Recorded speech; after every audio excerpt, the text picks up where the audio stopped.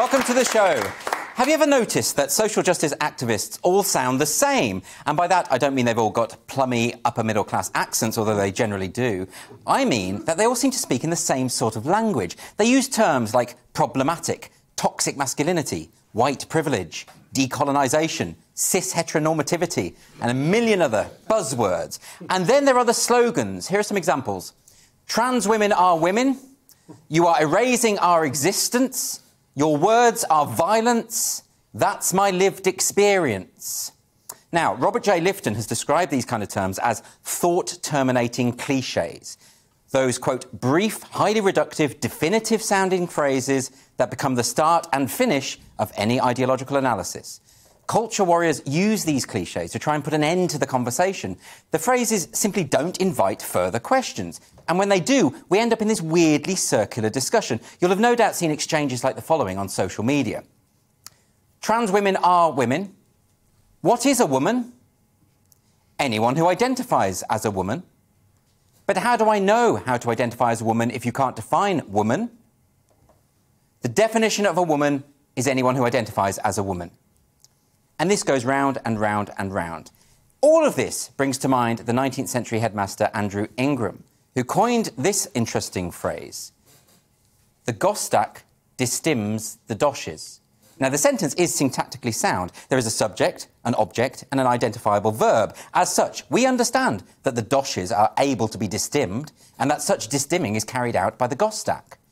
Or if you want to see this in dialogue form, it looks like this What is the Gostak? The Gostak is what distims the doshes. What's distimming? Distimming is what the Gostak does to the doshes. OK, but what are the doshes? The doshes are what the Gostak distims.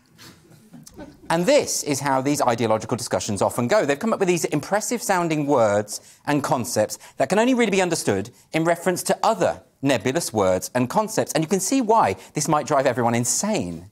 And of course, that's the whole point. When people are speaking different languages, there can be no possibility of conversation. This week, my friend Peter Boghossian, who's an American philosopher and academic, released a video in which he is seen attempting to reason with a group of activist students at Portland State University. He's conducting a thought experiment in the plaza, and he's asking people to talk through contentious statements such as defund the police and there are only two genders. And it was this statement that upset some of the students. So at first, you can see them on top of the building shouting and swearing at him. But then they come outside and they approach him. Here's a clip. We're just sort of here to sort of advocate and um, elevate who might be harmed by a statement like What do you that. mean by harmed? harmed? Yeah.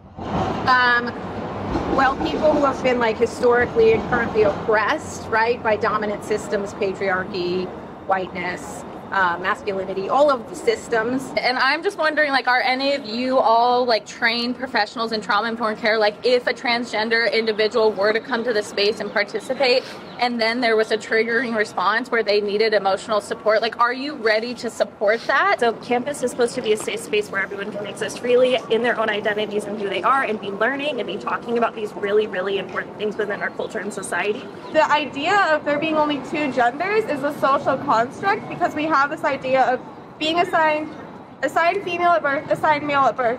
Now, I'm non-binary. That's something that I have learned about myself over the last six, seven years. After I was a teenager, I was learned about sociology. I learned about gender as a social construct, and I realized that I don't fit into the box of just a cis woman. Okay, my gender is completely whatever I feel like in the moment. Now remember that this is all because Peter was simply asking people to discuss the statement, there are only two genders. And the video is worth watching in full, it's on Peter's website. Because what you hear are people who are speaking in slogans as a substitute for thought. As you heard in that brief excerpt, all of them are repeating identical mantras. And all of this was outlined in 1945 in an essay by George Orwell called Politics and the English Language.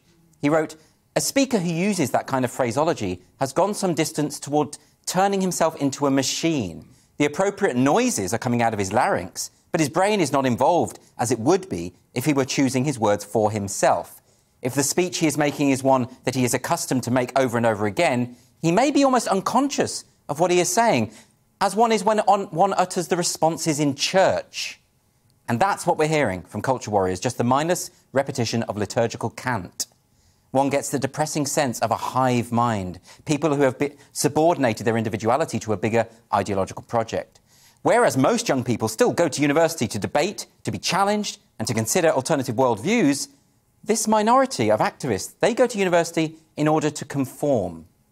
So when you hear these buzzwords, these thought terminating cliches, it's always worth probing a little more, asking some further questions. Culture warriors don't like debate because that risks taking them away from the approved script. They might even have to challenge some of their own certainties. But we should never forget that beneath all this jargon, these are intelligent human beings who have simply forgotten what it feels like to think for themselves.